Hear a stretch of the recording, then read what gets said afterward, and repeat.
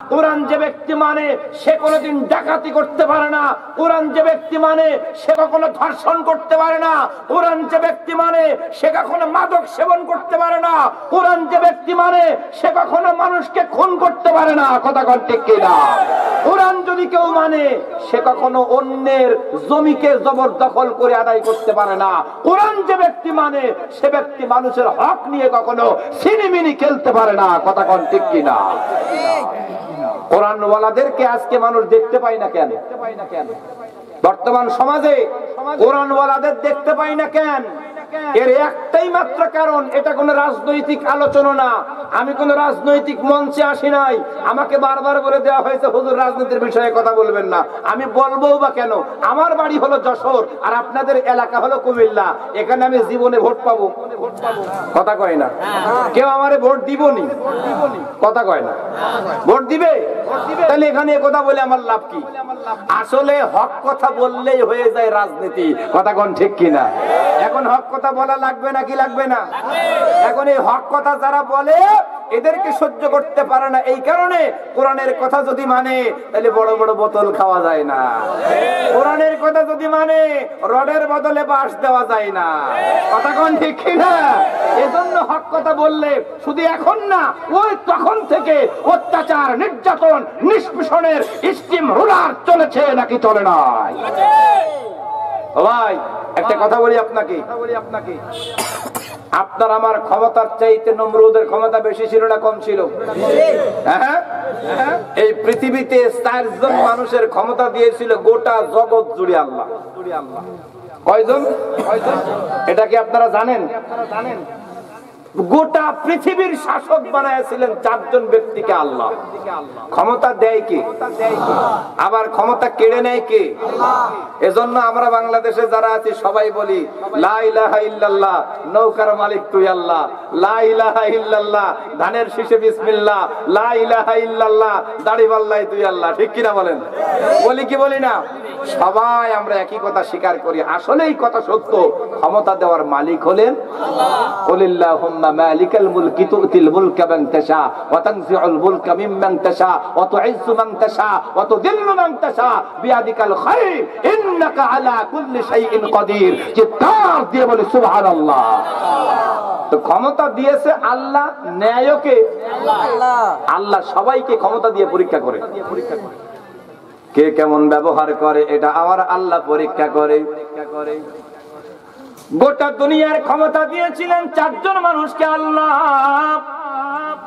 তার মধ্যে এক নম্বর ছিল মিস্টার নমরুদ। কোন কোন রেওয়ায়তে বলা হচ্ছে মিস্টার ফেরাউন। ফেরাউন একে ইমানদার না বেঈমান? আর জোরে বলেন। শুধু বেঈমান না, নমরুদ বলেন আর ফেরাউন বলেন, এরা দুইজনই ছিল আল্লাহ দ্রোহী। নিজেকে আল্লাহ বলে স্বীকার করেছে, নিজেকে রব হিসাবে স্বীকার করেছে। কোরআনে কারীমের মধ্যে বলা হয়েছে, ফেরাউন বলেছিল, আনা রব্বুকুমুল আলা। আমি হলাম সব চাইতে বড় রব। ও রবগিরি আছে না গেছে? আর ওজরে বলে, নমরুদ তো আল্লাহকে মেরেই ফেলেছে। এ কাহিনী কি জানেন? বলেন নাউজুবিল্লাহ। নমরুদ আল্লাহকে মেরেছে বলে ও নিজে বিশ্বাস করে। কত বড় শয়তান। ইবলিস ওদের দিকে তাকায় বলে যে তোর আগে আল্লাহ আমারে বানাইছিল। আলহামদুলিল্লাহ। তা না হলে জীবনেও আমি শয়তান হইতে পারতাম না। কথা কোন ঠিক কিনা? নমরুদ করল কি? ইব্রাহিম আলাইহিস সালাতু ওয়াস সালাম।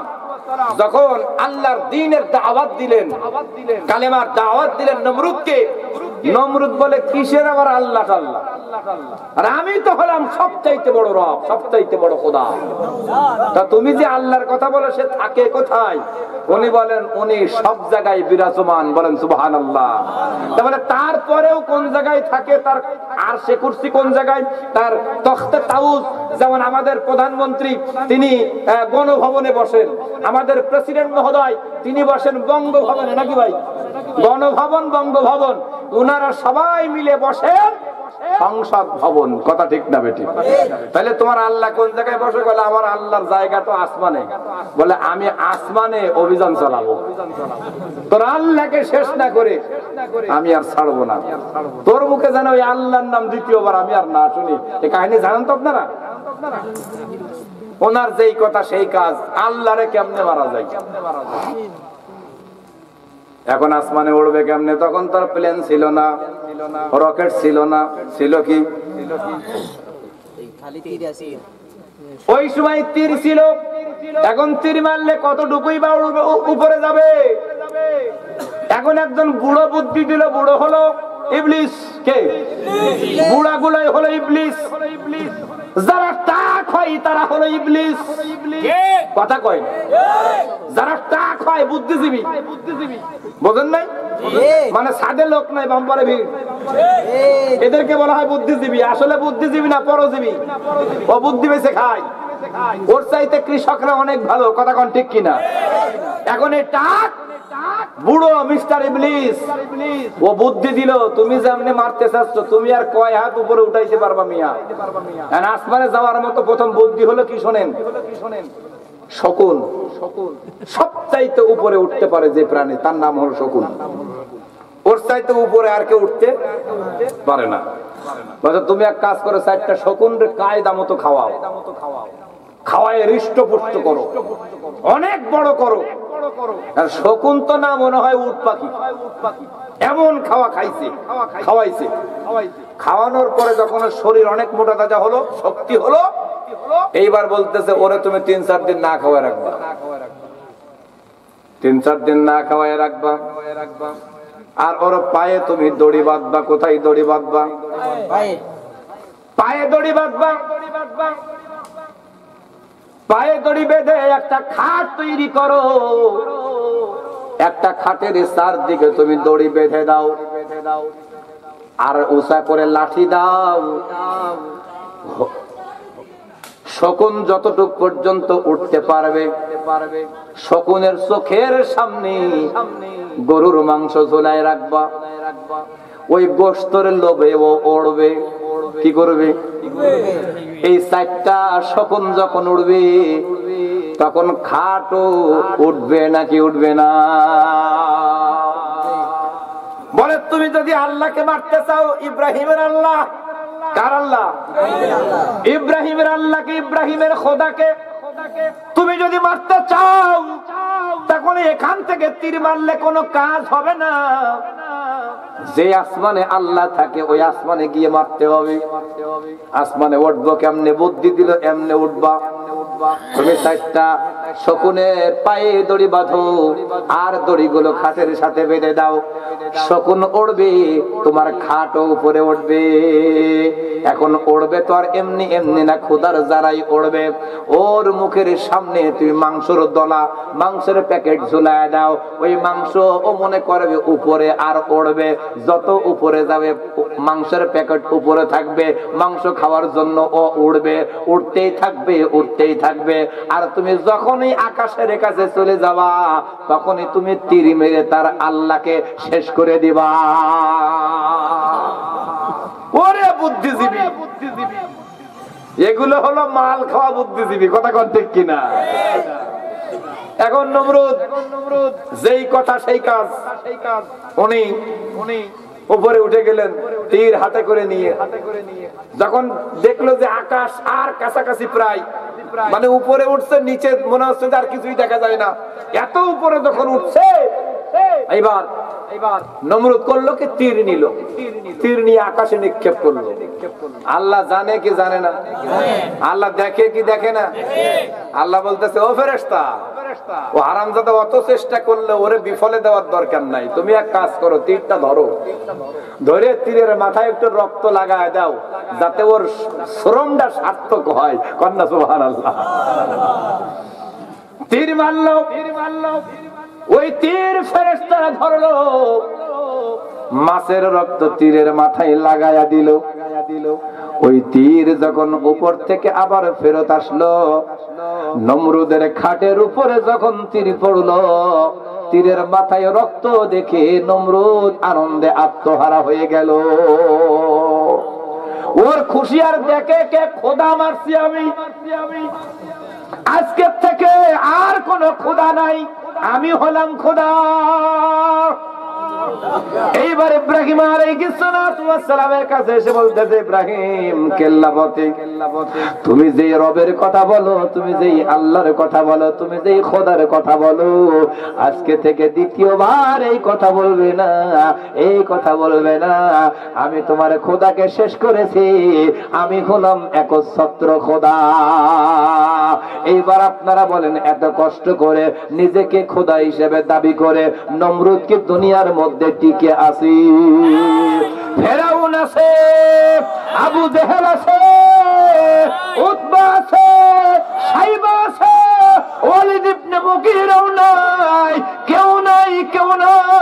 আজকে যারা কোরআন থেকে নিজেকে বিচ্যুত রাখো, ইসলাম থেকে নিজেকে বিচ্যুত রাখো, নিজেদেরকে ক্ষমতাবান মনে করে তোমরা যারা আজকে যা ইচ্ছা তাই করতেছ, কোরআন বন্ধ করে দেওয়ার ষড়যন্ত্র করতেছ, ইসলাম থাকবে নাকি থাকবে না, এই নিয়ে ষড়যন্ত্র করতেছ, তোমাদেরকে জানায় দেয়, ওরাও যেমন গেছে, তোমরা আমরাও তেমন যাব।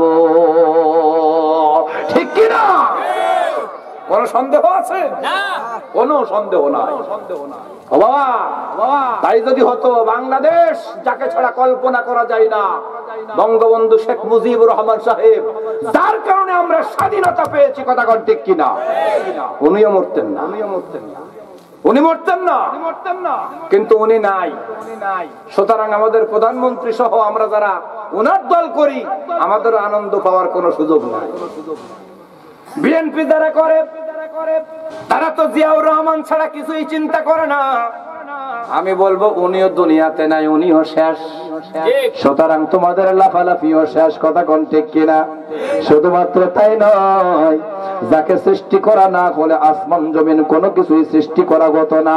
আল্লাহর নবী মোহাম্মদ রসুল্লাহ সাল্লাল্লাহু আলাইহি ওয়াসাল্লাম, আল্লাহর পরে যার মর্যাদা, উনিও পৃথিবীতে আজকে না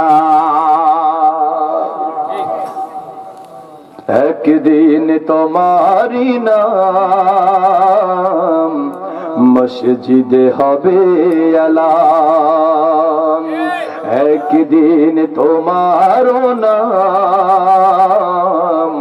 মসজিদে হবে আলাম তৈরি থেকো তৈরি রেখো। কবরের মাল সামান একদিন তোমারি নাম। মসজিদে হবে এলার চিৎকার দিয়ে বলেন কথাগুলো ঠিক কিনা? আমি কি কষ্ট দিলাম আপনাদের? কোন রাজনৈতিক কথা বলেছি? যেটা বাস্তবতা, আমি সেটা বলেছি সেটা বলেছি। যদি মানতে পারেন, কিসমত পরিবর্তন হয়ে যাবে। আর যদি মানতে না পারেন, আমাদের কিছুই হবে না, আল্লাহরও কিছু হবে না, নবীরও কিচ্ছু হবে না। তুমি কপাল পোড়া দুনিয়াতে শেষ পর্যন্ত থাকবা না। এজন্য আসুন কোরআনের দিকে। কোন কোরআনের দিকে আসবে? যে কোরআন আবার আল্লাহ রব্বুল আলামিন আমাদের জন্য নাজিল করেছেন হেদায়েত হিসাবে। আমি আপনাদের সামনে সূরা বাকারার তিনটা কারিমা তেলাওয়াত করেছি। নবীর পবিত্র জবান থেকে একটা হাদিসও তেলাওয়াত করেছি। আমি অল্প সময় আপনাদের সামনে এই আয়াতের আলোকে কিছু কথা বলতে চাই। আল্লাহ রব্বুল আলামিন আমাদেরকে যা বুঝাতে চেয়েছেন এই আয়াত দিয়ে আমি সামান্য কিছু ইঙ্গিত দিয়ে যেতে চাই। আল্লাহ রব্বুল আলামিন এই কোরআনের ব্যাপারে প্রথমে সন্দেহ মুক্ত হতে বলেছেন। আল্লাহ রব্বুল আলামিন যে কোরআনে কারীমকে নাযিল করেছেন, ওই কোরআনের শুরুতে আল্লাহ বলেছেন, আলিফ লাম মিম। এর কোন অর্থ আমার জানা নাই। আপনারা জানেন? জানেন? জানেন। আলিফলাম মিমের অর্থ কেউ বলতে পারবে না। এটা হরুফে মুকত্তাআত, মুতাশাবিহাত। আল্লাহর নবী পর্যন্ত এর অর্থ জানেন নাই কথা বলুন ঠিক ঠিক কিনা? দুই নম্বর আয়াতে আল্লাহ বলেন, জালিকাল কিতাবু লা রাইবা ফীহ এটা হলো এমন একটা কিতাব যে কিতাবের ব্যাপারে আলোচনা আমরা করতেছি। এটা এমন একটা কিতাব, যার মধ্যে কোনো ভুল তো দূরের কথা, ভুলের কোনো সম্ভাবনা নাই। সুবহানাল্লাহ। আরও জোরে বলেন সুবহানাল্লাহ। এই কোরআনের মধ্যে কি কোনো ভুল আছে? কোনো ভুল নাই, কোনো ত্রুটি নাই। তাহলে নির্ভুল একটা কিতাব আল্লাহ দিয়েছেন। এই কিতাবটা আল্লাহ কেন দিয়েছে আল্লাহ বলেন হুদাল্লিন নাস এটা কোন মানুষের জন্য হেদায়েত। সুতরাং এই নির্ভুল কিতাব যারা মানবে, তারা হেদায়েতের মধ্যে থাকবে সুবহান আল্লাহ আল্লাহ বলেন, হুদাল্লিল মুত্তাকিন। এটা হলো মুত্তাকিদের জন্য হেদায়েত, এটা হলো মুত্তাকিদের জন্য হেদায়েত। মুত্তাকি মানে তারা, যারা আল্লাহকে ভয় করে, আল্লাহকে ভয় করে যারা, মুত্তাকি হলো তারা। এখন আমরা আল্লাহকে ভয় করি, কি করি না? আরও জোরে বলেন। আল্লাহকে কেন ভয় করবেন? কারণ আছে না নাই? এই কারণে যে আল্লাহ হলেন আমার জীবন দেওয়ার মালিক, আল্লাহ হলেন আমার মৃত্যু দেওয়ার মালিক। আমরা আজকে আমরা আজকে মাস্তানদেরকে ভয় পাই না? ভয় পাই না কেন? কেন? বাবারে মারি ফেলতে পারে। মারি ফেলতে পারে মারি কাড়ি কাড়ি আরে শেষ করে দিতে পারে, ঠিক কিনা? এজন্য আমরা মাস্তানকে ভয় পাই। পুলিশকে ভয় পাই কেন? যে কোনো সময় আমার অ্যারেস্ট করে নিয়ে যেতে পারে। আমার জেল জরিমানা দিতাম পারে কতক্ষণ ঠিক কিনা? পারে কি পারে না? এজন্য আমরা ভয় পাই। নেতাদের ভয় পাই কেন? নেতাদের ভয় পাই এই কারণে যে ওনার এক কথা একশো কথার সমান, ফাটা কেষ্ট। কথা কয় না। যে কোনো সময় আমার অ্যারেস্ট করাইতে পারে।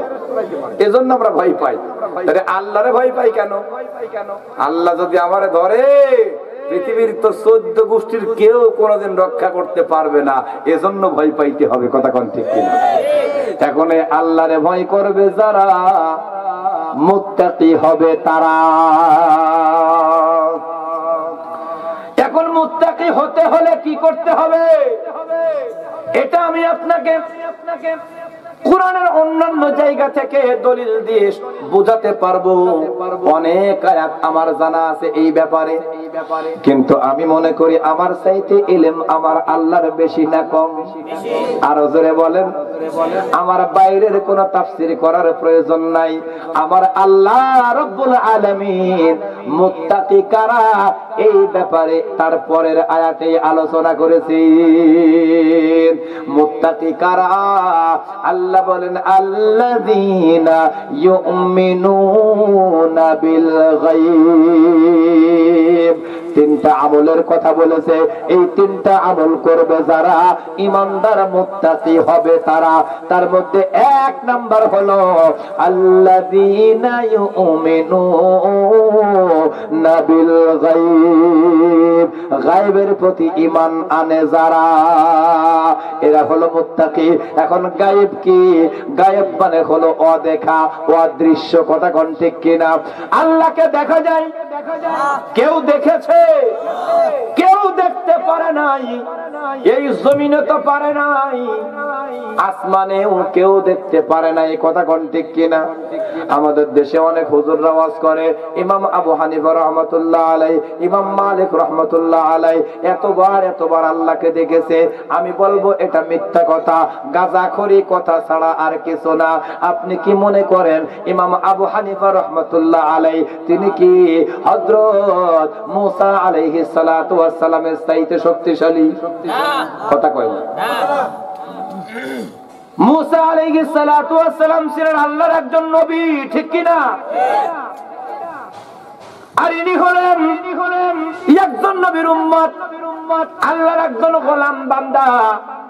যদিও তিনি আল্লাহ বলা ছিলেন, আল্লাহর একজন খালেজ বান্দা, কথা ঠিক কিনা তিনি একজন আল্লাহ বলা ছিলেন, এতে কোনো সন্দেহ নাই। কিন্তু তাই বলে তিনি আল্লাহকে দেখেন নাই। মুসার মতো নবী যদি আল্লাহকে না দেখে, ইমাম আবু হানিফা রহমতুল্লাহ আলাই ইমাম মালিক রহমতুল্লাহ আলাইহির মতো মানুষ, আব্দুল কাদের জিলানি রহমতুল্লাহ আলাইহির মতো মানুষ কোশ্চিন কালেও আল্লাহকে দেখা সম্ভব নয়। ঠিক কিনা এখন আল্লাহকে কেউ দেখে নাই। তাই বলে কি আল্লাহ নাই? আছে না নাই? কোন জায়গায়? সব জায়গায়। আমার আল্লাহ সর্বত্র বিরাজমান। কথা কোন ঠিক কিনা?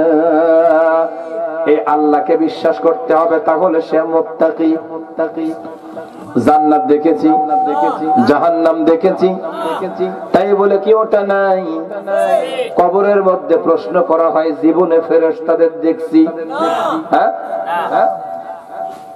দেওয়ালের ওই পাশে কি আছে? ক্যামেরার দ্বারা এই পাশ থেকে দেখা সম্ভব? সম্ভব। সম্ভব। আর্মিদের কাছেও ক্যামেরা আছে। যারা যোদ্ধা, ওদের কাছে থাকে। দেওয়ালের সাথে লাগাই দেয় তাকাই দেখে। ওর ওই পাশে কে আছে? দেখা যায়। দেখা যায় দেখে শুট করে। দেখে শুট করে দেওয়ালের ওই পাশে কি আছে তা যদি দেখা যায়, তাহলে কবরের আজাব গুলাও তো দেখা যাবে।